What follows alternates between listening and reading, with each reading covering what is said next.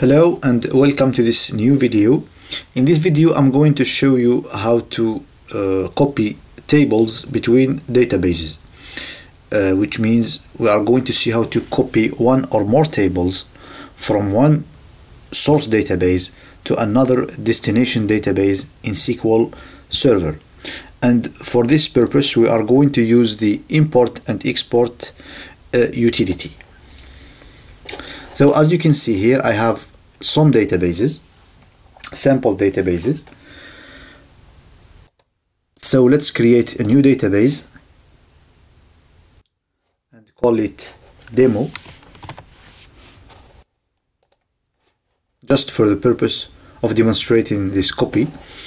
And let's say I want to copy a few tables from this AdventureWorks uh, database to this demo database.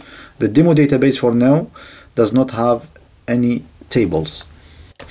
So the first thing we need to do is right click on this AdventureWorks database, which is going to be the source database of the copy. Select tasks and then export data. Click next. And then select the uh, SQL Server uh, native client for the source data. And then select your uh, source database which is for me is going to be the AdventureWorks 2019 sample database. Click next. Now we will select the destination for our copy which is going to be a demo database as well so for the server I'm going to say localhost and then select the demo database. Click next. Here you have a choice between two options. Copy data from one or more tables or views or write a query to specify the data to transfer I'm going to choose option 1 which is copy data from one or more tables or views. Click next. And then select the tables you want to copy. Let's say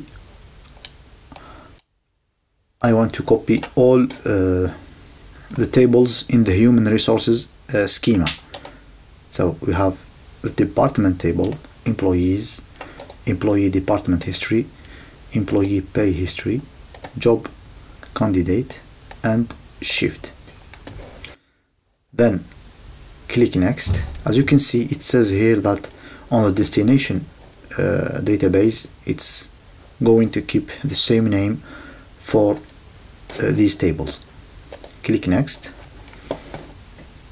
Then click next or finish to start uh, copying uh, the tables immediately. So as you can see the copy process is in progress. Okay. It even tells you how many rows have been copied. For example on the department table 16 rows have been copied. On the employee table 290 rows have been copied and so on and so forth click close to finish then here uh, on tables under demo database refresh and you should see the tables have been copied. If you want to check that the data is there just do select on one of the tables and there you go. We have 290 rows in the uh, employee table so this is it that's how you copy uh, tables from one uh, database to another database in SQL Server. I hope this video was helpful for you and thank you for watching.